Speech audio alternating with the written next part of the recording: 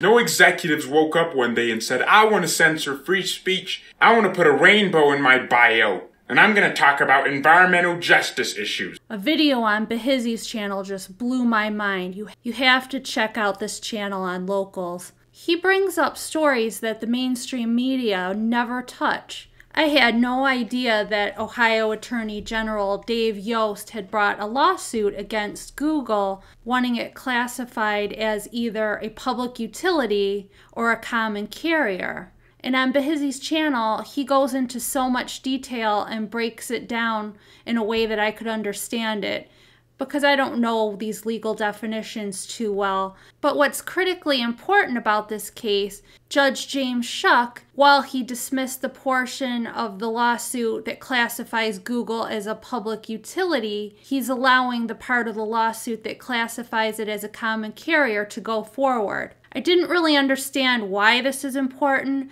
but in this video on Behizy's channel, he breaks it down he explains that if Google is classified as a common carrier, it's subject to local regulation.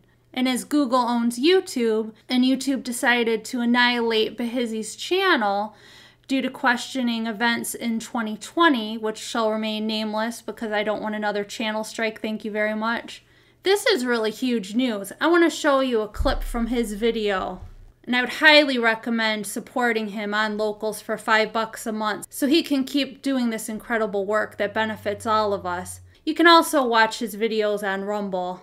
But Behizy, what's the difference between a public utility and a common carrier? A privately owned and operated business whose services are so essential to the public as to justify the grant of special franchises for the use of public property or of the right of eminent domain, in consideration of which the owners must serve all persons who apply without discrimination. It is always a virtual monopoly. Common carriers would be like the train company, or the company that built the rails for the trains, because it was so obvious to everyone that they were serving an essential thing to society with their rails and trains, the government basically decided, well, you have to serve everyone now. And thereby we had common carriers carriage regulations. The common carrier part is what Judge James Schuck is letting go forward with this case against Google. And I believe this would mean that they would be regulated against discrimination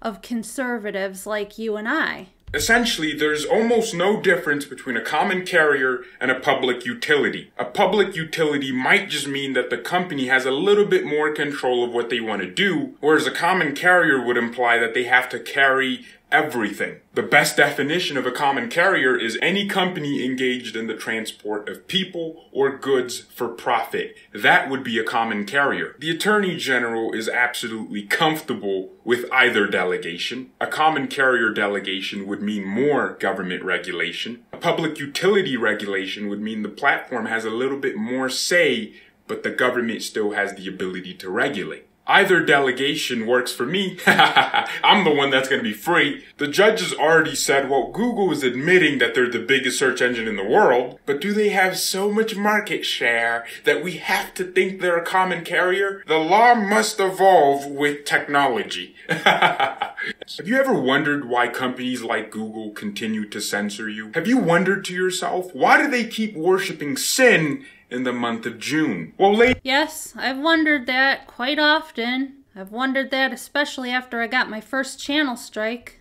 Thank you very much. The first thing we have to understand is that these platforms were forced to be woke. No executives woke up one day and said, I want to censor free speech. I want to put a rainbow in my bio and I'm going to talk about environmental justice issues. They were forced into these habits by institutional investors. So if, for example, the courts declare that these platforms are common carrier, it's essentially going to stop their business model. Companies like Google, Facebook, Twitter, Snapchat, Reddit, these big social media platforms barring TikTok started as wanting to open the internet to people. Maybe not Zuckerberg. He referred to his users as dumb F words. Twitter, for example, wanted to be a public town square where anyone can have conversations about anything without fear of being censored. But along the way, as these companies got bigger and bigger, had more ambitions to have their products in front of your face, and wanted to establish their own foot foothold on the internet. They knew they needed money, and money doesn't come cheap, ladies and gentlemen. So in the last 10 to 15 years, a lot of these companies went public. Before that, they got money but going public meant they would get a lot of money. And this is where the institutional backers came in. Investment firms like BlackRock and Vanguard wanted a piece of the pie, so they poured billions and billions of dollars into these companies. And these companies are like, yeah, we like money. How else is Google supposed to fund their project to build a self-driving car? How else are they supposed to start a new startup within a giant corporation, hire 50,000 people to work on something that's not even out yet, and making profit for them? So this money is crucial. But this money from these backers comes with strings attached. For reasons unknown, these institutional backers really want these companies they're backing and giving money to to adhere to these social justice values, better known as ESG scores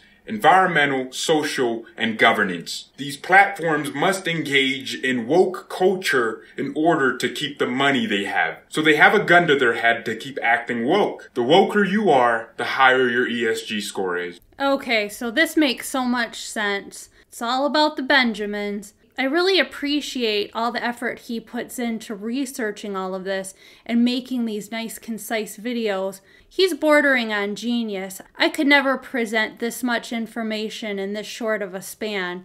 A man like this only comes around once in a generation. The scariest part of all of this is when he describes China's involvement in all of this investment in big tech. Now, do you see why this ruling is so critically important? If Google is classified as a common carrier, then regulation at the local level can take effect. This one video has provided me with more information than watching a week's worth of Fox News. So definitely check out Behizy's channel on locals.com and consider supporting him for five bucks a month.